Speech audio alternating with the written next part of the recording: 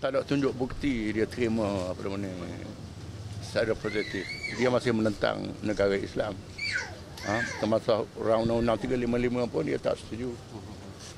Itu benda yang berkait dengan prinsip. Kita kena desah. Ha. Ada dia tak tak ada kenyataan. Sikap dia terhadap rakyat Pulau Pinang.